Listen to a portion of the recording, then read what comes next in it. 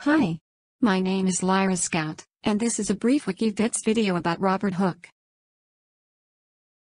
Robert Hooke, July 28, 1635 to March 3, 1703, was an English natural philosopher, architect, and polymath. His adult life comprised three distinct periods, as a scientific inquirer lacking money, achieving great wealth and standing through his reputation for hard work and scrupulous honesty following the Great Fire of 1666, and eventually becoming ill and party to jealous intellectual disputes, the latter may have contributed to his relative historical obscurity. At one time he was simultaneously the curator of experiments of the Royal Society, a member of its council, Gresham Professor of Geometry, and surveyor to the City of London after the Great Fire of London in which capacity he appears to have performed more than half of all the surveys after the fire. He was also an important architect of his time, though few of his buildings now survive and some of those are generally misattributed, and was instrumental in devising a set of planning controls for London whose influence remains today. Alan Chapman has characterized him as England's Leonardo. Robert Gunther's Early Science in Oxford, A History of Science in Oxford during the Protectorate, Restoration, and Age of Enlightenment, devotes five of its 14 volumes to Hooke.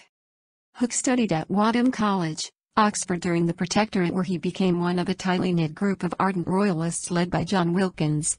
Here he was employed as an assistant to Thomas Willis and to Robert Boyle, for whom he built the vacuum pumps used in Boyle's gas law experiments. He built some of the earliest Gregorian telescopes and observed the rotations of Mars and Jupiter. In 1665 he inspired the use of microscopes for scientific exploration with his book, Micrographia. Based on his microscopic observations of fossils, Hooke was an early proponent of biological evolution. He investigated the phenomenon of refraction, deducing the wave theory of light, and was the first to suggest that matter expands when heated, and that air is made of small particles separated by relatively large distances. He performed pioneering work in the field of surveying and map-making and was involved in the work that led to the first modern plan-form map, though his plan for London on a grid system was rejected in favor of rebuilding along the existing routes. He also came near to an experimental proof that gravity follows an inverse square law, and hypothesized that such a relation governs the motions of the planets, an idea that was independently developed by Isaac Newton. Much of Hooke's scientific work was conducted in his capacity as curator of experiments of the Royal Society, a post that he held from 1662, or as part of the household of Robert Boyle.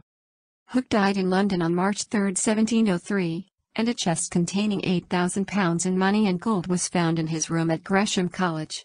Although he had talked of leaving a generous bequest to the Royal Society that would have given his name to a library, laboratory, and lectures, no will could be found, and the money hence passed to an illiterate cousin, Elizabeth Stephens. He was buried at St. Helens Bishopsgate, but the precise location of his grave is unknown. Well my friends, I hope you've enjoyed this brief video about Robert Hooke. Until next time, this has been Lyra Scout for WikiVids.